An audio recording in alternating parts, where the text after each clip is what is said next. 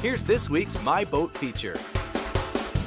Having your boat on a trailer is certainly convenient. Allows you all kinds of flexibility about where you wish to go boating. But sometimes storing your boat, it's a little bit of a problem, particularly if you want to keep it in the garage and you have a package like this that's just a little bit too long for a standard residential 19 to 20 foot garage. So this week on my boat, we're going to show you how to install a tongue hinge so you can fold the tongue back and get your boat and trailer into your garage. After supporting the trailer, the jack stand had to be removed from the tongue. I elected to reinstall it on the trailer frame. Before we started the project, we'd pre-measured the entire length of the package, starting at the back of the outboard with it in the down position to where we want to make our cut on the tongue here. And we're going to stay just under 19 feet. And where that puts us is where these old broken clearance lights are. So the first thing we're going to do is remove the clearance lights so we can mark for our cut. Before you mark and start your cut, check the chart in the instructions to ensure that the length of the pivoting section does not exceed the length for the trailer weight and tongue load. Also make sure you pull the wiring back out of the tongue before proceeding any further. I almost blew it.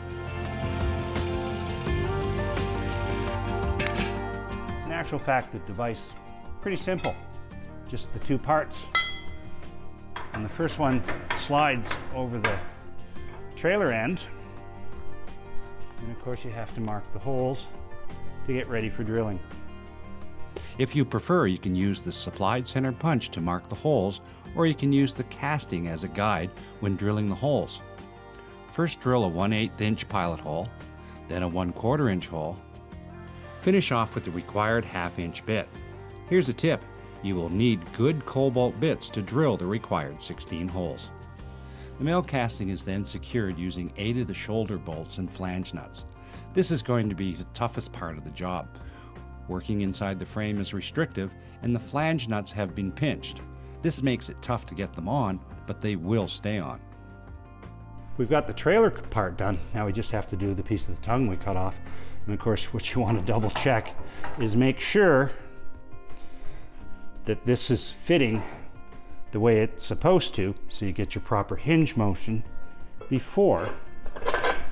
Having installed one casting, the installation of the second casting is more of the same. Next, a fish was used to pull the wiring through the swing section of the tongue. Then the couplings were mated up and the pivot bolt and hinge pin were inserted. Secure the lock nut on the bolt then ensure that the hinge operates smoothly. After applying lube, the rubber cushions easily insert into the pre-drilled holes. While that takes care of the installation of the kit components, but there is still one more important item left. Now this isn't included in the kit, but one of the last things you have to do before you can hit the road is change up your safety chains. Your new chains have to extend from the frame behind the hinge all the way through to your tow vehicle.